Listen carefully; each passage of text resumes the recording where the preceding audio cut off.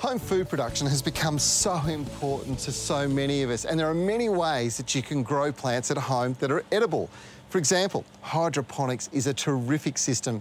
Now, this is the way most of our lettuce and tomatoes are produced commercially. Hydroponics involves plants being grown in a sterile medium, such as expanded clay. And that clay becomes home to millions of bacteria, which convert the nutrients that are applied as a liquid mineral through the soil and then the microscopic bacteria and fungi consume those minerals, turning them into food for plants.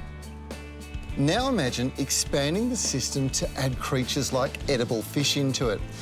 Those creatures, well, they excrete waste into the water that, if left there, could become toxic. But if you bring this expanded clay into the mix, which is rich in bacteria and the plants, well, you actually replicate a natural ecosystem. The plants effectively cleanse the water of excess nutrients and the fish have clean water to live in. I've simplified the concept a bit here, but effectively, this is what's known as aquaponics. These systems are now available through specialists like Aquaponics WA, and you can grow your own fish as well as an amazing array of edible plants at home. It's absolutely dead easy.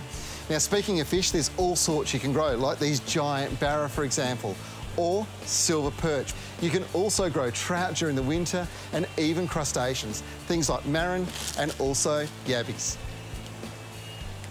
The kit includes a tray, expanded clay, which looks a little bit like gravel, but it's extremely light and porous, a pump and fittings, and of course your tank. A 500 litre tank like this can produce 20 trout weighing 500 grams each in just four to five months. A huge 2,000 litre tank like this can produce up to 24 to 6 kilo barramundi in just three to four years. Now they're going to grow to one kilo in just under 12 months, and you can grow larger numbers if you're harvesting smaller sized fish.